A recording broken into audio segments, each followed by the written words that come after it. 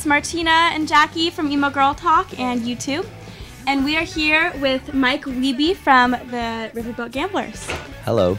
Hi. What's up, Mike? I'm How are you good. doing? I'm great. How are you guys doing? We are very good.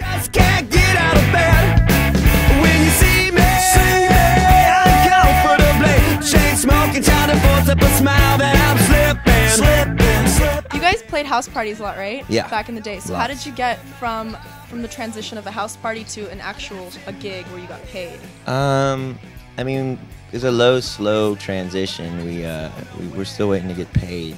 To get paid, no. Uh, we we uh, you know, there was a little club in Denton, and we would do shows there. They were mostly free shows, and then and then maybe occasional shows out of town. And it was just a very slow transition, and it was never really our goal to, to do the band as a as a uh, full time or for a living until like years later. So.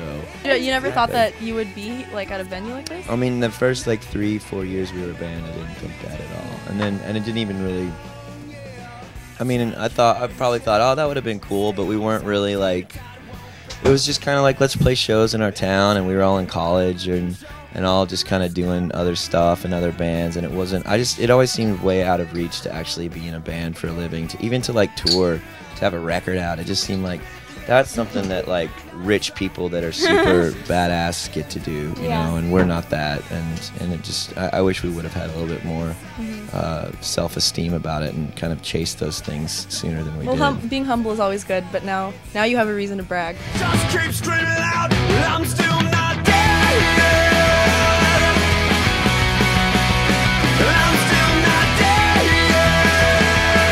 So, um, have you ever had a really crazy fan experience, like somebody trying to pull your pants off on stage, or something weird? Because I know that happens to a lot of fans. Fadi tried to pull my pants. Fadi did pull my pants off He is a fan. on stage. He's not a fan. fan. He's not a fan of man. We were playing a show, and uh, and we it was we had, sometimes if a show if it's very underattended we'll call it shirts off Saturday if it's or tops off Tuesday or whatever. And we played an under attended show, and I was not wearing much, and Fadi came from my underwears and yanked him down. So, speaking of weird shows, tell me about the show that you played in Bakersfield yesterday. Okay. Well, so we went out there, and it was this big amphitheater, and it was outside, and there was this weird little like moat in front of it, and um, and we played, and then about halfway through the set, there was kind of a place where you you know stop, and they're tuning up, and they're talking, and say, hey, thanks for coming out, everybody, and and it's great to be here in California, and um, you know, randomly when I'm talking, I'll occasionally drop an f bomb or an s bomb. But it's a rock show. I Yeah, I know exactly, exactly. And but the thing is, I was talking. I was like, you know, I was like, I know that. I, I was like, I know I'm preaching to the choir here, but um, I'm really bummed that the you know the gay marriage bill didn't pass here in California. I think it's really fucked up that we still live in a place where you know people aren't allowed to like openly love who they want to love, and that you know it's just it's kind of fucking ridiculous. And so, and you know, when we went back in and played some more songs, and then right before, right afterwards, um, Ian, uh, the other guitar player, was like, "Hey, Mike, don't swear. They're gonna." And, I- and it was kind of one of those things where I heard it and I was like, "Oh, okay, whatever." And I actually like thought in my head like I wasn't like out to like make a protest on Yeah. the swearing thing. I was just kind of like, "Okay, whatever." So we were talking and something happened and Eric was just kind of goofing around and I just made a joke about our drummer and I said something about how he's such a shitty baseball player he won't even make JV this year, which isn't admittedly isn't that funny of a joke even in context, but um, which they should have yanked the plug on me for not being funny. But then all of a sudden all the all the they cut all the power and they're like no no and this radio Wow. guy They cut the me. power? Because you said Yeah. shitty. Yeah, yeah. And Wait, like- so what kind was the venue? What kind of venue was it, or it was what kind of crowd? outdoor crowd? amphitheater venue, and it was a free show. It was a radio, a radio uh, supported thing. But I mean, it was all. It was a bunch of like, you know, There were like a lot of little kids or something. there was maybe a few out there. it's not a Hannah Montana show here. Hannah- yeah, like we're not the Jonas is Brothers. so weird. And the thing is, you know, they asked us to play, and you know, there's plenty of swear words in our lyrics and stuff like that. So I, I and they never asked us to like not Yeah, like Not cut the swear. obscenity or anything. yeah, there was no. Um, I had no idea. So they, you know, we stopped and and then went out and met a whole bunch of cool people. Staring at the magazines on the end caps. Over the head I go. Two of us buried in the ground. God knows I wish you were. Speaking of tours. Um, have you ever done a Warp Tour ever? We did. We did Yeah. one in 2005, I think. 2005. Yeah. What stage? It was the Volcom stage. Nice. Yeah. So tell us about that experience.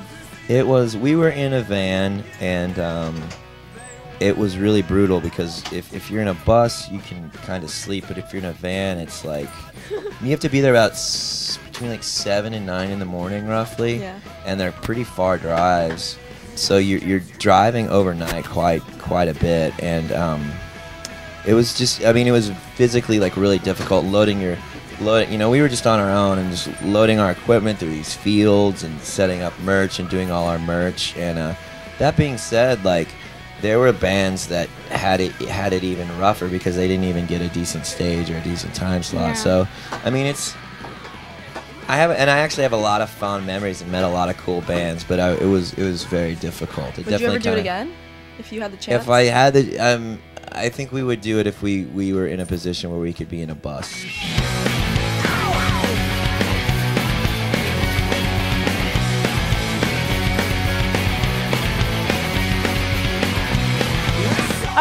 Well, thank you very much, Mike. We really appreciate oh, the interview. thanks interview. for coming out. we enjoyed the interview. I enjoyed. You're an awesome guy, too. and we'll see you at the show.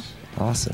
All right, so you want to tell everybody out there in YouTube land where they can find your music. You can find our music if you go to uh, it's www.theriverboatgamblers.com. There's a free single you can download and a B side, and then there's a whole bunch of links to iTunes and iLike and um, Pure Volume and stuff like that. So where all of the music is for sale, and um, and and you know, let's be honest. In this day and age, you can probably find it and steal it from some site if you want.